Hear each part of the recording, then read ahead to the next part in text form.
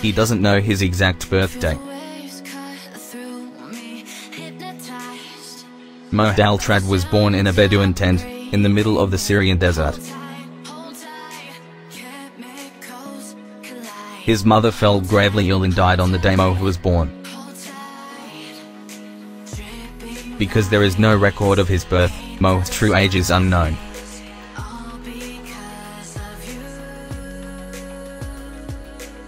His father was a tyrant, and beat his older brother to death.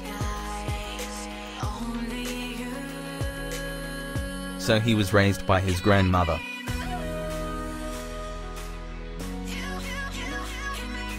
But she refused to let him go to school.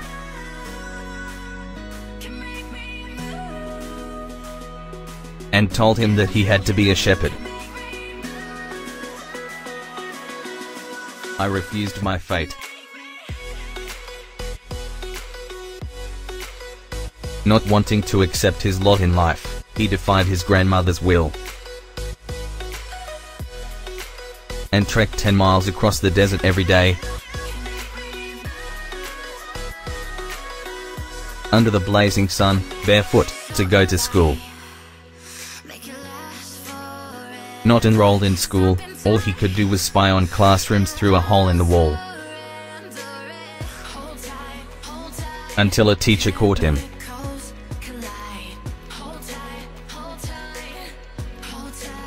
But seeing Mohed's curiosity, he let him sit in on his class.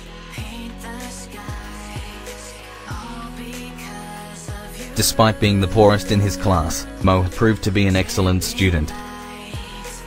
Jealous of his success, his classmates carried him off into the desert and dug a hole.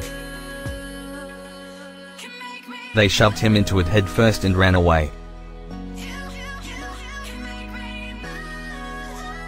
Mohed escaped, but vowed to never be pushed around again. That's when his luck began to change. My only ambition was not to accept my initial destiny.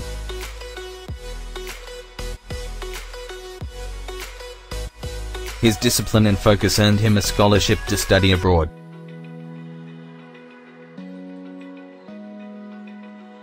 Broke and alone, he arrived in France during an outpouring of anti-Arab sentiment in 1969.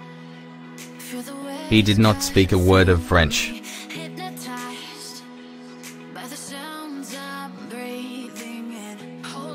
And barely understood what his professors said.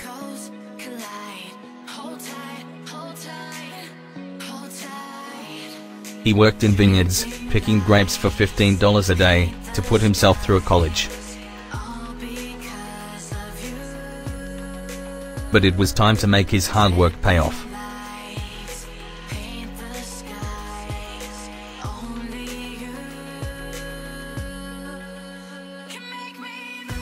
Taking a chance, he bought a scaffolding company that was on the verge of bankruptcy.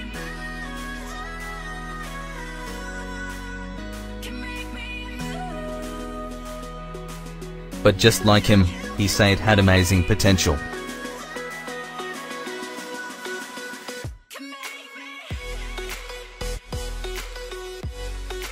He made a bold decision to invest all of his money into the small and struggling company.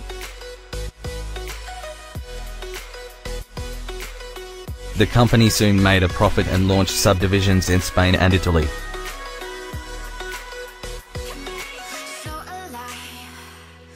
Altrad Group is now one of the world's leading cement mixer and scaffolding providers.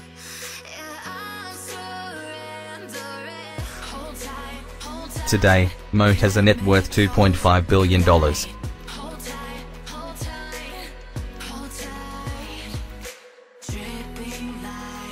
And he's been made an officer of France's Legion of Honor.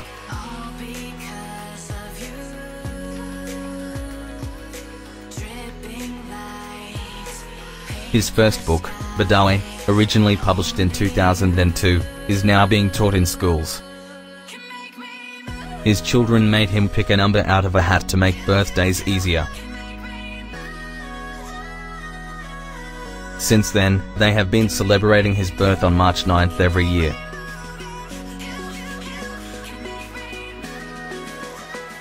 I am free man that holds on to his freedom.